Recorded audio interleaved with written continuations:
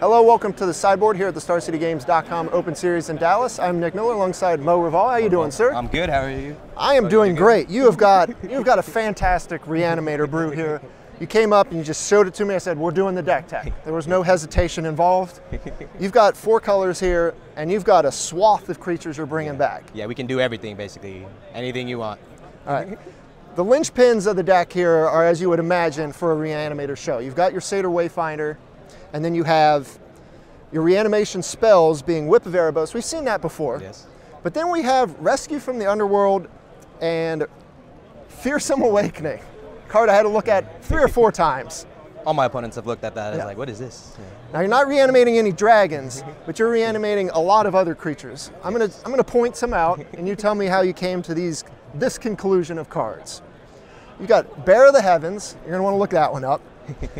Soul of New Phyrexia, Ashen Rider in triplicate, Yeah. as well as Hornet Queen, Siege Rhino, Butcher the Horde, and a couple of Doomwake Giants. Yes. Okay, so let's start over here with the Doomwake Giants. Uh, those actually, this is my second tournament with this deck. Uh, I had these in the board, and I decided to put them in the main just because of the meta and the way all the decks are playing tokens or having one ones or Right. having like aggressive creatures with the uh, one butt or something. So that's in there. We have uh, Bear of the Heaven and Soul New Phyrexia. That's a combo by itself right there. If you're able to uh, mill Soul New Phyrexia and you have Bear of the Heaven in play and you're able to stack them either with uh, Rescue or you can Murderous Cut it Uh-huh. you can murderous cut it and or your opponent can destroy it. You can activate Soul New Phyrexia's ability from the graveyard and make all your permanents indestructible and all your all your opponent uh, all your opponent's permanents become uh, they they d- destroy at the end step.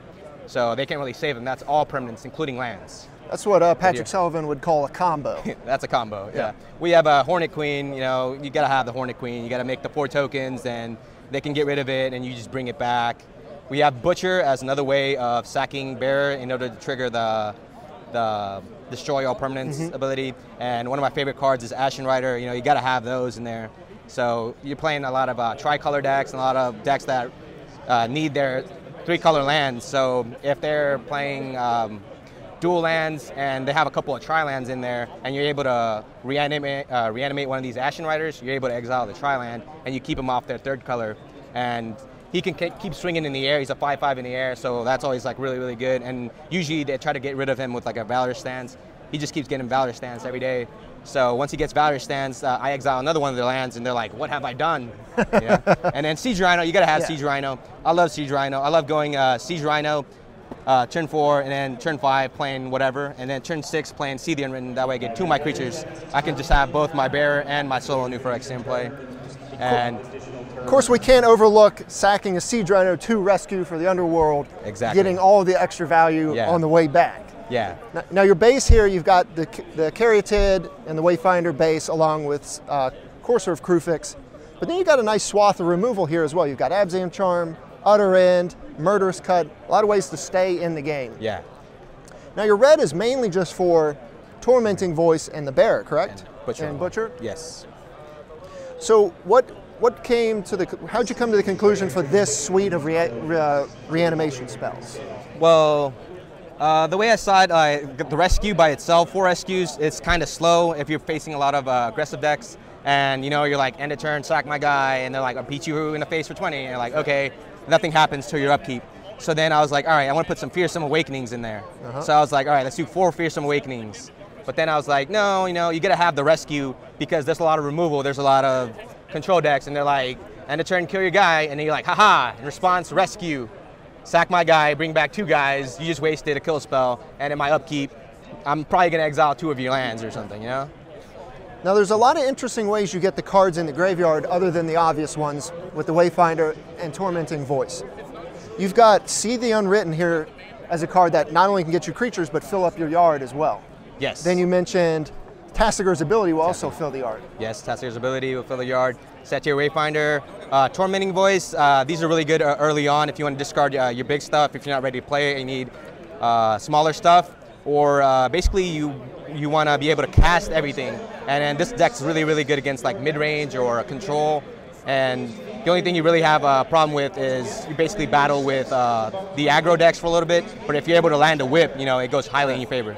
Uh, of course, Whip of Erebos just good all around when you're bringing anything back as well. Yeah. Sideboard, you had a couple of interesting choices. Erebos here going along with the whip. Yeah, you gotta have the god, you gotta have the whip. You know, you can't leave them out. You know. Of course, you have Thoughtseize as a way to just combat the control decks. Yes. But then you also have a couple Crux of Fate, which with all the reanimation, doesn't seem that bad either. Yes. You're three and one so far. What are you looking to play against uh, with this deck? Well, I've played three Jeskai aggro decks, and I have played. The other deck was a mono red, so I'm playing a lot of aggro decks, Mm-hmm. and I figured that would be like my worst uh, matchup. Well, this deck doesn't really have a bad matchup, but you know, um, as long as I get my uh, Doomwake Giants out, you know, it's fine. It's like, oh, you got guys, all right, kill them all. All right. So another thing that people don't realize is if you have one Doomwake in the board, I mean not in the board, Doomwake in the graveyard Yep. and one in play, you can sack the Doomwake, target the other Doomwake, get both of them back, give minus four, minus four to all of your opponent's creatures, which is really, really awesome. But I'm hoping to play a lot of uh, mid-range decks and a lot of control decks. That way I can just like play Ashen Rider and have them read it while I yeah.